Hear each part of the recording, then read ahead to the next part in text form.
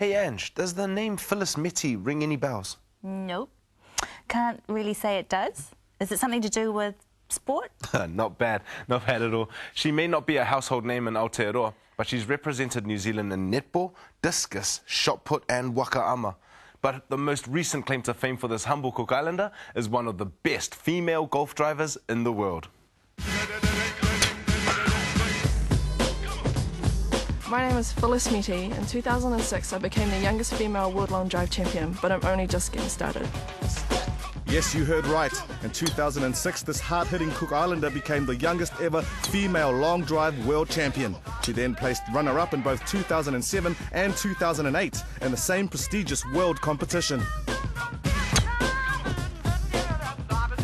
Long drive is a relatively unknown sport to most people here in New Zealand, particularly within the Pacific community. So we caught up with Phyllis, the current New Zealand champion, competing at this year's Remax National Championships to find out more about this popular new sport. Long drive is a power hitting sport. The competition is you hit off um, a tee down to a grid that's 40 metres wide, kind of like a fairway, and your furthest shot that finishes in the grid is measured. Phyllis makes it all sound pretty simple, and in typical island style, she downplays her achievements. But there's more to this game than just raw power. The sport is about distance, of course, but it's also about accuracy. We have a customised grid that's 400 metres long by 40 metres wide, and you must hit the ball to stay within that grid zone. Davin Nola, a New Zealand long drive representative, was instrumental in preparing Phyllis for the 2006 World Champs in America. Got two minutes and 45 seconds, so that's I think 20, just over 27 seconds a ball.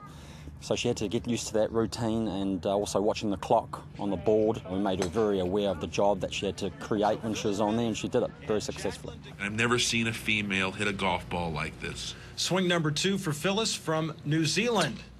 A solid golf swing right there, this staring it down. This is awesome right here, Roger. This is unbelievable. This will get some run too. Past 320, Art. But perhaps her biggest support has been her family.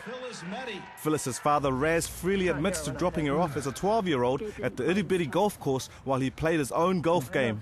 My parents' support has been huge um, ever since I was little. They would always give up their lunch breaks to come and watch me play sport um, at school. They're kind of on my right shoulder all the time, and whenever we travel overseas for sport, either one of them or both of them are there, and it's been really important.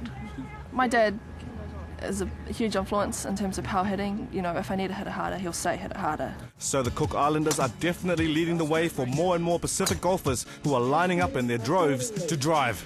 The motto behind the sport is give it a go or grip it and rip it, and so we see a lot of Pacific Island guys come along.